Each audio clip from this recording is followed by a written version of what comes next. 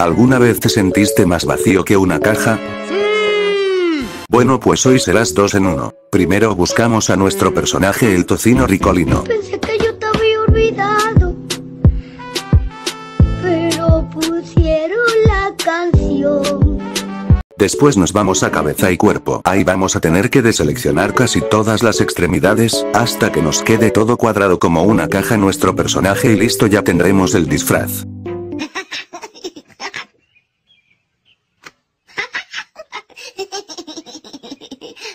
¿Verdad que te engañé? Vamos a pelo y se lo quitamos y en la parte de color de piel pondremos el color blanco.